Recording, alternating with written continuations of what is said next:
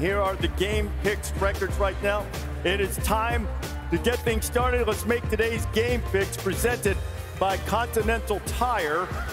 Everybody getting in the right positions. I'm getting everybody set. Just give me here. the stiff arm. Hey, let's Boss, start. yeah. Let's start with Kansas and Iowa State. Yeah, I talked about this being a tricky game for Kansas. I'm actually I'm going to go with Iowa State on this one. They're favored in this one. They're at home. We just talked about how hard it is to win on the road.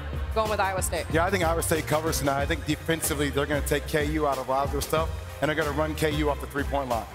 grimy, tough, together, competitive, defends, Hilton Magic, Iowa State.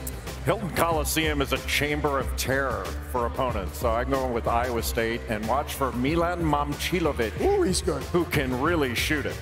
Nailed it. Nailed it. 58% though Nice saying job, Jay. Kansas win. 100% of our analysts saying so.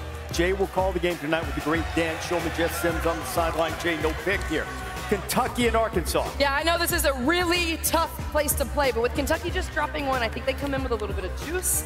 I'm going with the Wildcats. Yeah, I, I, you know, look, Arkansas turns around their season in games like this. I just think it's not going to be this game tonight. I'll go with Kentucky. Seth, save the graphic. I'm not saving it because even though Kentucky can't guard the ball, Kentucky's just got a lot of dudes. Too many dudes wins. Arkansas wins the game tonight. Arkansas wins.